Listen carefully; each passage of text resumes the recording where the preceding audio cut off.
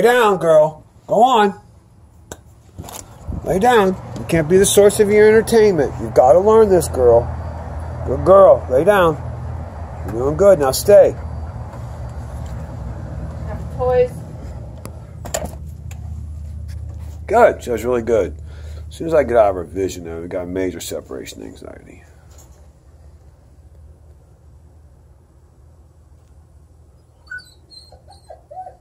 Can be fixed by going, knock it off.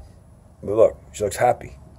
You know why? Because just saying knock it off is enough to make her feel gratified because she got my attention. That's why this isn't working. So I disappear. She whines.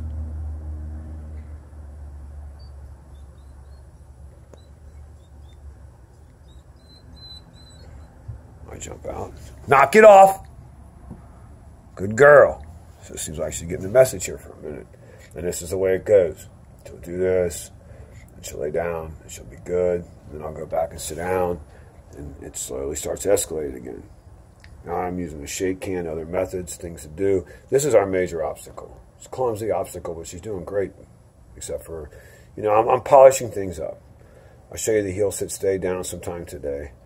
Down's kind of awkward. Heel sit stays perfect. I mean, she's doing real good on all that. A lot of big changes.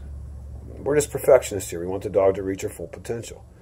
So I'm, I'm kind of hesitant to put anything out until we reach that. But I'll send you videos. Just please do not post them anywhere. People are so damn critical of every step I take and everything I do simply because they do not understand it.